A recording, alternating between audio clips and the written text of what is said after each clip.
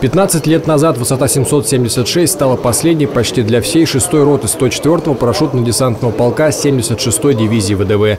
В ночь с 29 февраля на 1 марта 2000 года десантники приняли неравный бой против двух с половиной тысяч бандитов под руководством Хатаба. Не дать им прорваться стало основной задачей наших бойцов. Место действия – Аргунское ущелье рядом с чеченским селением Улускерт. Пользуясь складками местности и туманом, террористы подбирались вплотную к позициям десантников. С обеих сторон велась стрельба в упор из автоматов, пулеметов, подствольных гранатометов. К утру 1 марта большинство солдат и офицеров 6-й роты были убиты или тяжело ранены. У десантников закончились боеприпасы. Немножко не хватило, может быть, одного дня не хватило, чтобы выйти раньше и закрепиться на указанных э, высотах. И тем самым Значит, противник бы тогда пройти не смог, так как окопавшись, э, подготовив систему обороны э, к бою, враг не смог бы. Но когда вот в этой ситуации сложился встречный бой, и противник, видя, что э, их подавляющее превосходство, естественно, это их злило, что, что они не могли. Это их слило еще более больше и больше.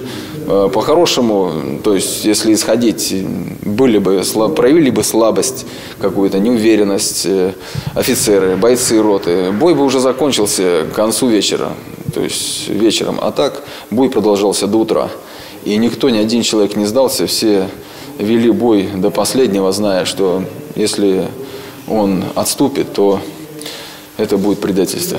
Сражалась рота до последнего и удерживала высоту 20 часов. Десантникам удалось уничтожить 700 бандитов, но в живых осталось только шестеро. Среди погибших героев и рязанец Роман Соколов. Хотел служить и предлагали ему там уйти куда-то. Он говорит, нет, я вот хочу быть строевым, вот именно боевым, а, а офицером. Он так и шел к этому. Он в первой Чечне был, оттуда вернулся с контузией, орден мужества. В Югославии был. И он, как вам сказать, спешил жить. Вот это у него было не отнять. Все хотел. Ну, погибнуть 28 лет, это тоже... Ничего, он есть пацаныч. И главное, у него 16 февраля исполнилось 28, а 1, 1 марта погиб на день рождения матери.